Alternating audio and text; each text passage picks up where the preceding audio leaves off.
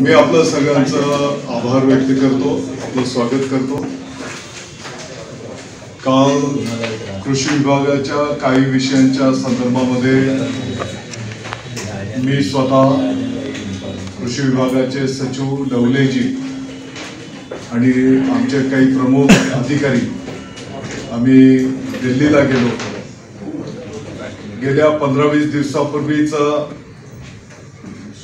काही मंत्री महोदयांच्या अपॉइंटमेंट्स घेतलेल्या होत्या. आणि त्याप्रमाणे काल दिल्लीला जाऊन माननीय नामदार श्री नितीनजी गडकरी साहेब मंत्री महोदय रस्ते व वाहतूक माननीय नामदार श्री नरेंद्र सिंह तोमर साहेब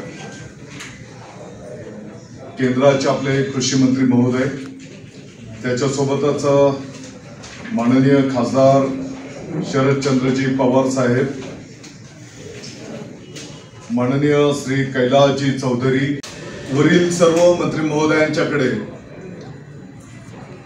ही क्वांटिटी थोडी वाढवून द्या. आणि प्रामुख्याने एप्रिल मे आणि जून या तीन महिन्यांमध्ये महाराष्ट्राच्या वाट्याला जे काही केंद्र सरकार ठरवत आहे त्या आवंटनाप्रमाणे आम्हाला रासायनिक खतं पूर्ण क्षमतेने उपलब्ध करून द्या अशी विनंती त्या ठिकाणी करण्यात आलेली आहे. देश पातळीवरनं प्रत्येक राज्याला कोणत्या महिन्यामध्ये कोणतं रासायनिक खत किती प्रमाणात दिलं जाईल याचा एक आराखडा तयार केला जातो. जसं आता महाराष्ट्राच्या साठी पंचेचाळीस लक्ष मेट्रिक टन दोन्ही सीझनच्या साठी जे काही मंजूर करण्यात आलेलं आहे. तर त्याप्रमाणे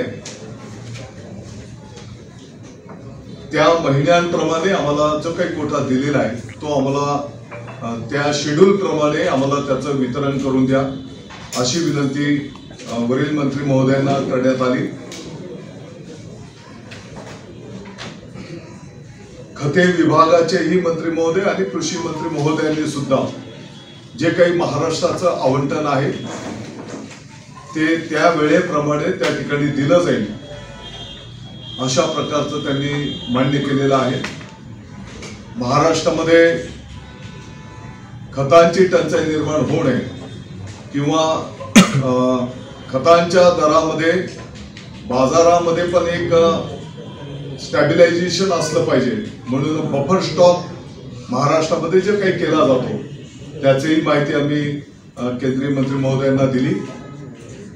आणि कदाचित देश पातळीवरही त्यांनी असं प्रयोग करावेत अशा प्रकारची विनंती आम्ही त्यांना केली. आणि यासाठी जो काही खर्च येतो साधारणतः महाराष्ट्राला आपल्याला मागच्या वर्षाला आठ दहा कोटी रुपये बफर स्टॉक करणं आणि तो जिथे कुठे थोडंफार कमी पडलं तर तिथे तो आपण उपलब्ध करून देतो. खरीप हंगामामध्ये जी काही रासायनिक खतं आपल्या महाराष्ट्राच्या साठी लागणार आहे. आपल्याला माहिती आहे की एक कोटी पंचेचाळीस लक्ष हेक्टर आपल्या खरीप हंगामामध्ये पेरणी पेरणीखाली येत. आहे आणि या सर्व क्षेत्राच्यासाठी आपण बावन्न लक्ष मेट्रिक टन खतांची मागणी केंद्र सरकारकडे केलेली आहे.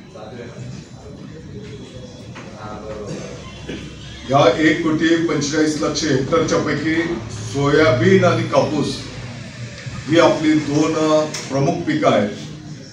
साधारणतः पंच्याऐंशी लक्ष हेक्टर क्षेत्र या दोन पिकांच्या खाली येत आहे. आणि एकूण क्षेत्राचं जर आपण कंपॅरिझन केलं तर साधारणतः साठ टक्के क्षेत्र या दोन पिकांच्या खाली येत आहे. आपल्याला माहिती आहे की सोयाबीन आणि कापूस पेरणी आणि पुढचा एक महिना या कालावधीमध्येच रासायनिक खतांची मोठ्या प्रमाणात आवश्यकता पडते. आणि म्हणून बावन्न लक्षाच्या अगेन्स्ट पंचेचाळीस लक्ष मेट्रिक टन केंद्र सरकारने महाराष्ट्राच्या साठी रासायनिक खतं मंजूर केलेली आहेत.